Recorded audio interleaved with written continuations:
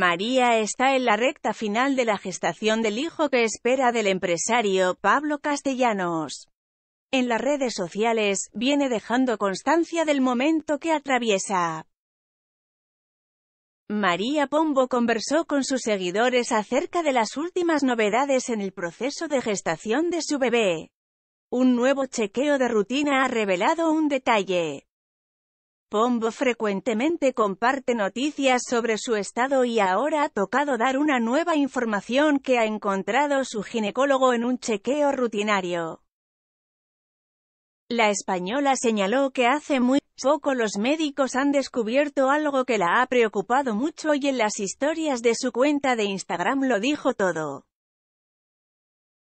Está todo bien, pero me ha dicho el ginecólogo que Martín está creciendo a un ritmo muy lento.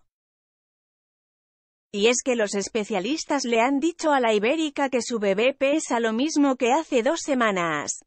La decisión que han tomado es la de hacer los mismos controles, pero en un periodo más corto de tiempo. Me he asustado un poco cuando me ha dicho el ginecólogo que Martín ha dejado de crecer.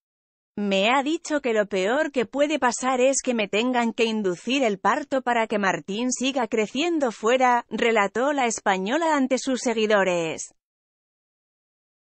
Este no es el primer problema que ha presentado a lo largo de su embarazo y es que hace unos meses, la famosa tuvo que acudir a la clínica para verse unas contracciones ocurridas a mitad de la noche, algo que solo quedó en un susto.